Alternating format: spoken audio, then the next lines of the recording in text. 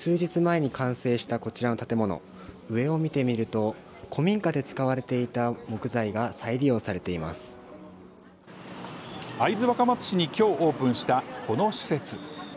古民家を海外へ輸出するための拠点です。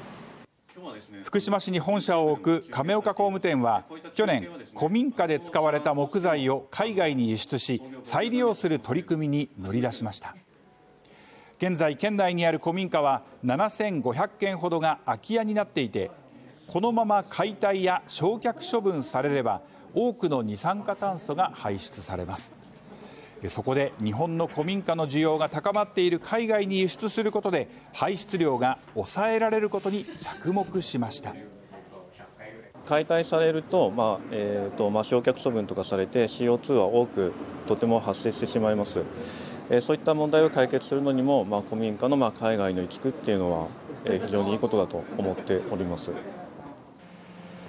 この会社では数年以内の輸出開始を見据えこの施設から古民家の魅力を発信していくとしています